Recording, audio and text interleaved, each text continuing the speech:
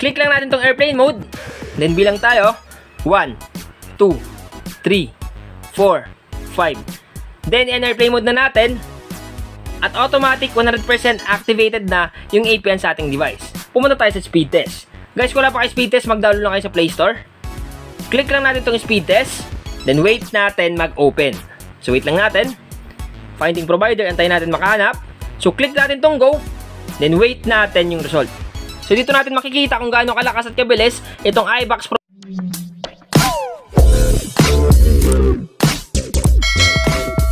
So yan guys, bago tayo magsimula sa mga bagong pasok sa aking channel, ako nga po pala si Mindtech PH, gumagawa ako ng content regarding sa APN, pampabilis at pampalakas ng internet connection, at nag-update din ako tungkol sa mga tricks and tips. So kung gusto niyo yung content ko, Don't forget to click subscribe button sa baba ng video na to at i-click mo na rin yung notification bell para lagi kayong updated sa mga bago kong uploads. Magsimula na tayo. Ngayon guys, may tuturo akong bagong APN na naman. So para to guys sa mga nag-try ng APN kahapon na hindi gumana sa inyo. Guys, pag hindi gumana yung APN, pwede nyo na siya kagad i-delete. Kasi nga, pag ganun, hindi compatible yung APN sa inyong area. Pero once na compatible yung APN, talaga makakaranas kayo ng high speed, stable, at hindi maglalag sa mga online games, sa pag-browse ng mga social media apps, sa panonood ng mga video sa YouTube at iba pa. Make sure lang guys na panoorin yung video hanggang matapos para malaman nyo kung paano set up yung bagong APN natin ngayon. Magsimula na tayo. Una natin gagawin, pumunta tayo sa settings ng ating cellphone. Click lang natin tong settings, Once na maklik na natin yung settings, dito tayo mapupunta. Hanapin natin dito guys yung SIM card and mobile network. Sa ibang device nakalagay dual SIM or mobile data or dual SIM or mobile network. Same lang yan. Tap lang natin. Once na matap na yan guys, mapupunta tayo sa number ng phone natin. Mamimili tayo ng number na gusto natin gamitin. Take note guys ha, compatible to sa lahat ng uri ng SIM cards. Mapa Smart, Token Text, Globe, TM, Sun Cellular, Gomo SIM, Dito SIM at kahit anong SIM card compatible. So pipiliin ko tong SIM 1, tap lang natin. Once na mapili mo na guys yung number na gusto mo gamitin, i-scroll down mo siya. Sa baba guys, hanapin nyo yung word na access point names or sa ibang device nakalagay APN. Kung ano yung makita nyo guys, access point names or APN, same lang yan, tap lang natin. Sa bandang taas sa kanan may plus sign dyan. Sa ibang device nakalagay add button. Kung ano yung makita nyo guys, add button or plus sign, same lang yan, tap lang natin. Ngayon, nag-fill out tayo dito ng bagong APN. So magsimula tayo mag-fill out sa name. Click lang natin tong name. Then ilagay natin dito, iBox Pro APN. So yan guys yung name ng ating APN, iBox Pro APN. Kung gusto nyo palitan, walang problema, pero ito talaga yung name ng ating APN. Click lang natin tong OK. Sunod guys, pumunta tayo sa APN. Click lang natin tong APN. Then ilagay natin dito, iBox ibox.tim or team.it. So yan guys yung name ng ating APN. ibox.tim.it. Click OK. Sunod guys, pumunta tayo sa username. Click lang natin tong username. Then ilagay natin dito Mindtech Mindtech hashtag or number sign iBox. iBox. So yan guys yung ilalagay natin sa username. Mindtech, hashtag or number sign, iBox. Click OK. Sunod guys, pumunta tayo sa password. Click lang natin tong password. Dito guys, ilalagay natin iBox9898. So yan guys yung password na ilalagay natin. iBox9898. Click OK. Sunod guys, pumunta tayo sa server. Click lang natin tong server. Dito guys yung ilalagay natin www or www.google.com So yan guys yung ilalagay natin sa server. www.google.com Click OK. Sunod guys pumunta tayo sa APN type.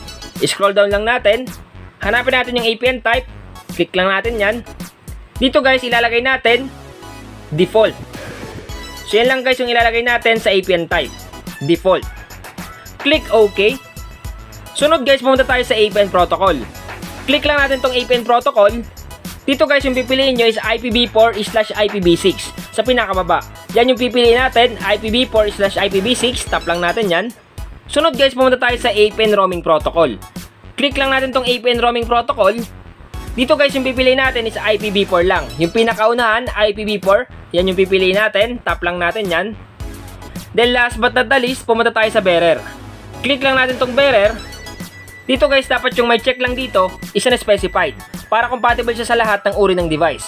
Kasi once na chinek mo yung LTE, tapos yung phone mo is 3G lang or 5G siya, automatic hindi gagana yung APN sa device. Kaya mas maganda na naka-specified para pangkalahatan.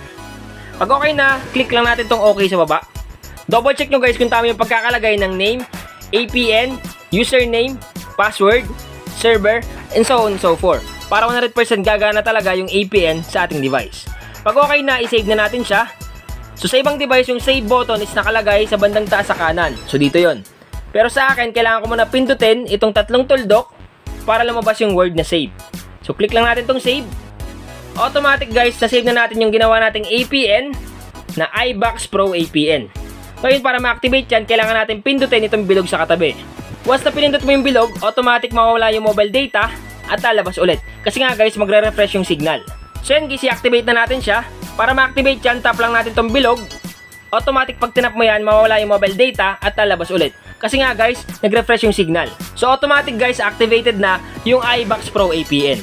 Ngayon para makasigurado tayo na 100% gagana talaga yung APN sa ating device, airplane mode natin siya ng 5 seconds. So airplane mode natin. Click lang natin tong airplane mode. Then bilang tayo. 1, 2, 3, 4, 5. Then in airplane mode na natin. At automatic 100% activated na yung APN sa ating device.